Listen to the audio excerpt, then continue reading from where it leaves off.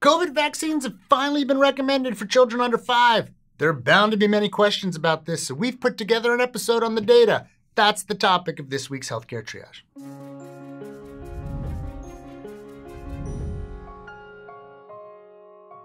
Both the Moderna and Pfizer vaccines were recommended for approval in June of 22 for kids between 6 months and 4 years of age.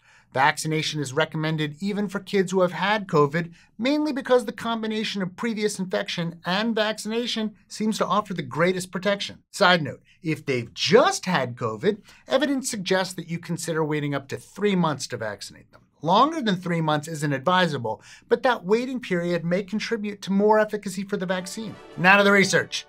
In pediatric trials, antibody responses were similar to those seen in adult trials. In the Moderna trial, there were 4,792 kids in the vaccine group and 1,596 in the placebo group.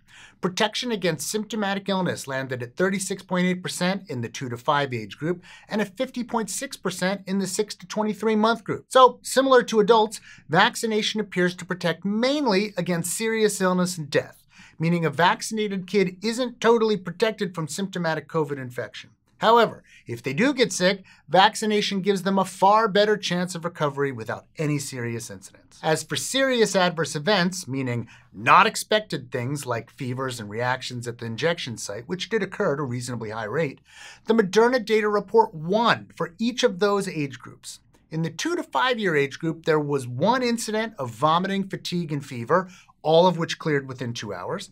In the younger age group, one instance of a febrile seizure and a rash occurred. Okay, now for the Pfizer data. There were 992 total kids vaccinated and 464 in the placebo group, so lower overall than the Moderna trial. Antibody numbers look good here too. Even better than in the Moderna trial with the antibody response looking better than adults, but we have less information about protection against symptomatic illness because the sample size was too small. Safety looks good here as well, with just two potentially vaccine related serious reactions, both of which resolved.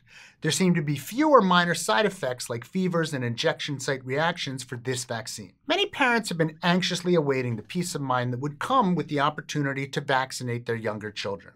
For other parents, though, there's some anxiety and a few questions. One of the most common points brought up by hesitant parents is that kids are at low risk for serious illness anyway, so why vaccinate?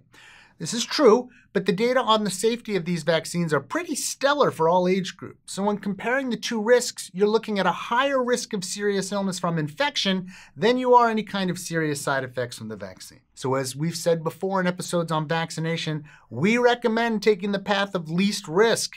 In this case, that's clearly vaccination.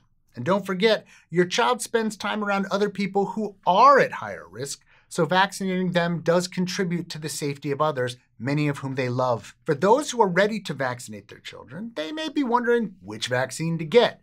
Both are effective, but there are differences that may matter to parents depending on their individual preferences. One of the biggest differences is dose, with Pfizer delivering a smaller dose than Moderna.